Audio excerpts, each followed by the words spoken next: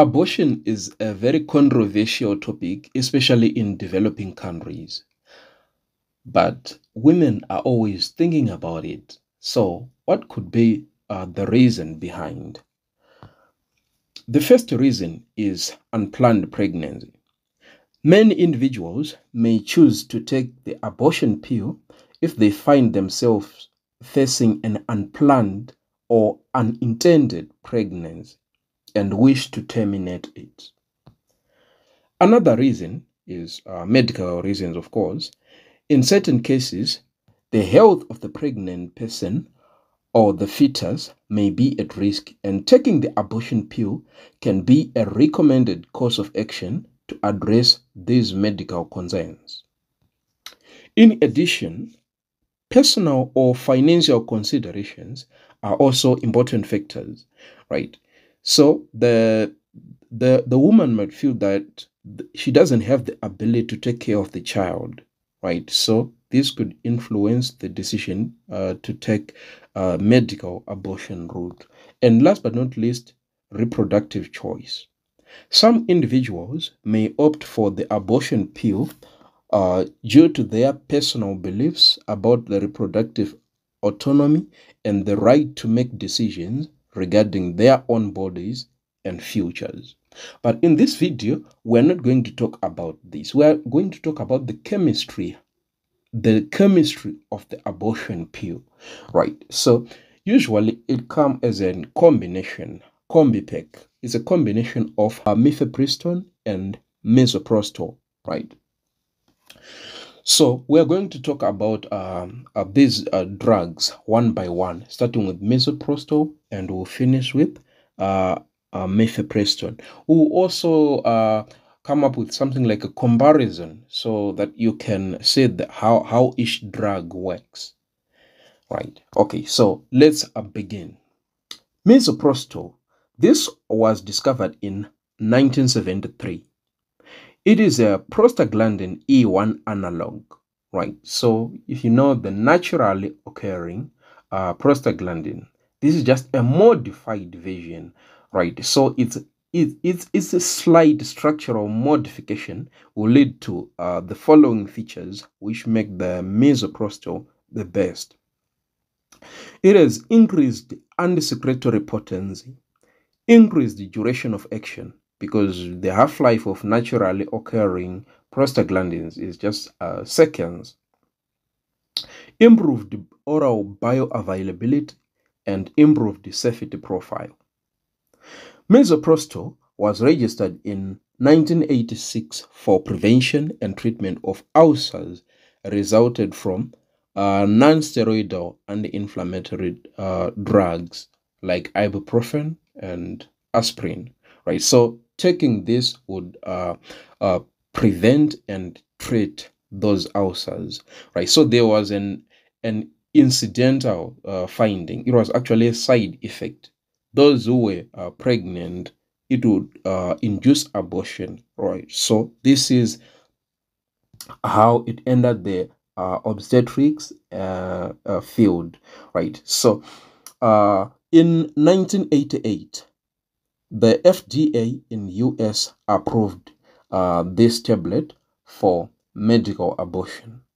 And in 1990 in UK, the Medicines and Healthcare Products Regulatory Agency approved uh, this drug. Now let's talk about its counterpart, mifepristone. Mifepristone was developed by uh, Roussel uh, around uh, 1980 and it was uh, first put to the market in France in 1988. Right, so uh, the trade names um, RIU 486, Mifegyne, uh, Mifeprex. Right, so mifepristone is an antiprogesterone. Antiprogestin means it blocks the action of uh, progesterone, a naturally occurring or naturally produced hormone that prepares the inner lining of the uterus for implantation of a fertilized ovum and support of a growing embryo and placenta. This hormone maintains pregnancy, right? So if you take uh, mifepristone, you have the opposite uh, effect, right? It's anti-progestin, right? So what will happen is that uh, if the drug is taken orally in a prescribed dose uh, during the first seven to nine weeks of pregnancy, and within two days, the uterine lining begins to deteriorate, usually causing bleeding, which is similar to that uh, experienced during normal menstruation. Right, so let's uh, talk about these drugs in combination, making a comparison. Misoprostol, also known as Cytotec, is a synthetic prostaglandin E1, prostaglandin E1 analog. And mifepristone is a progesterone receptor antagonist. Mechanism of action Cytotec works by increasing uterine contractions and causing cervical softening, leading to the expulsion of the pregnancy. It also helps to ripen the cervix before medical abortion. Mifepristone, on the other hand, binds to the progesterone receptor in the uterus, blocking the effects of progesterone. This lead to breakdown of the uterine lining and the detachment of the pregnancy, right? So this concept is known as destabilization of the implantation site. Indications. Misoprostol is primarily used in combination with mifepristone for medical abortions during the first trimester. It can also be used for cervical ripening prior to surgical abortions or labor induction. Mifepristone is used in combination with mis, uh, misoprostol for medical abortions uh, up to 10 weeks of gestation, and it can also be used for the management of certain conditions like Cushing syndrome and for the induction of labor in some cases. Right, so you can see that the indications actually intermingle. Let's talk about the dosage, right? So, according to the Royal College of Obstetricians and Gynecologists, this is how you give mifepristone and misoprostol in uh, medical abortion. Right, so you start with mifepristone.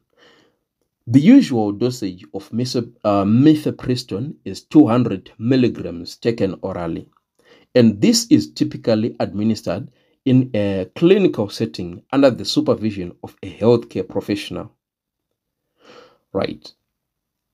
After this, 24 to 48 hours later, some books say 12 hours later, you will give misoprostol 400 micrograms. You take this buccally, sublingually, or vaginally right? So this can be administered even at home after receiving proper instructions and guidance from a healthcare provider.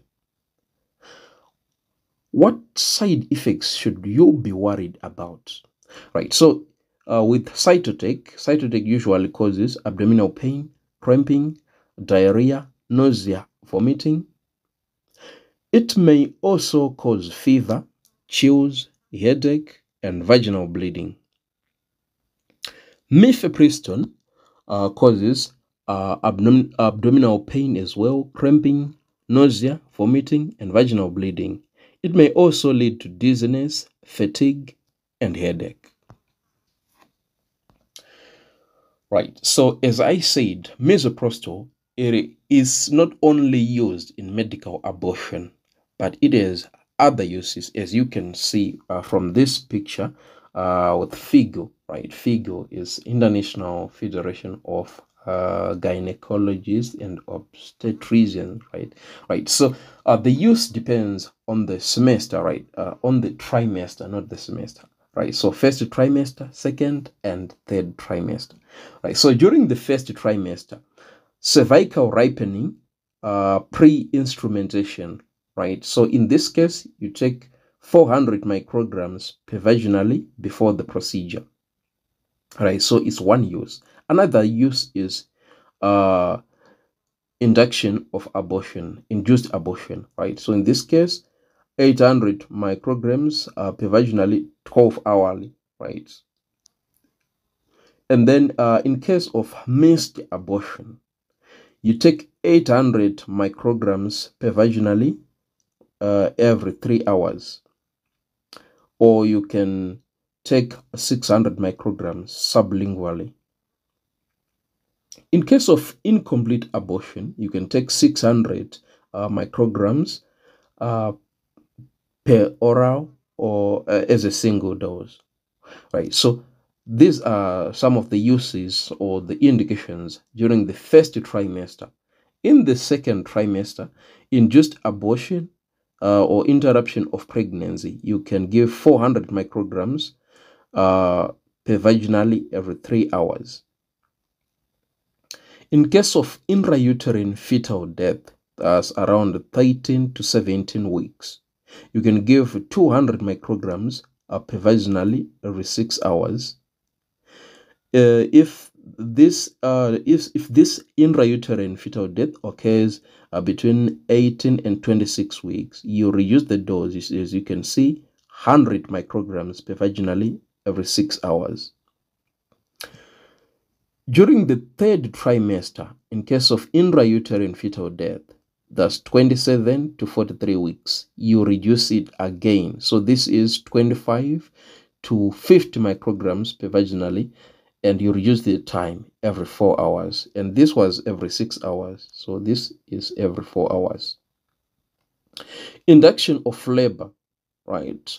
You can use the same dose, 25 micrograms per vaginally every four hours, or 20 micrograms per oral every two hours or sublingually. Postpartum hemorrhage prophylaxis. You can uh, give 600 micrograms PO as a single dose, or but in treatment, it's same thing again. It's 600 micrograms PO single dose. Right. So, in conclusion, let's sum up how uh, this medical abortion occurs. Right. So, as I said, uh, the first drug you give is mifepristone. All right. So, this is what happens under normal circumstances. Right. So, this is uh, your progesterone, and this is your myometrium. Right. So, uh, these are progester uh, progesterone receptors. So if the progesterone binds to progesterone receptors, there is a normal binding, and it, and then it uh, follows the normal uh, pathway of maintaining the pregnancy. All right, but if you um, you give mifepristone, you have blocked the uh, progesterone receptor, right? So that's the first pill you wait for 12, uh, 12 hours, right? So 12 hours later, you give a misoprostol. This will cause uh, uterine contraction and cervical dilation, and that's how you lose the pregnancy. Thank you so much. If you like this video, please make sure you subscribe, uh, give it a thumbs up, and please share with your friends. Until next time.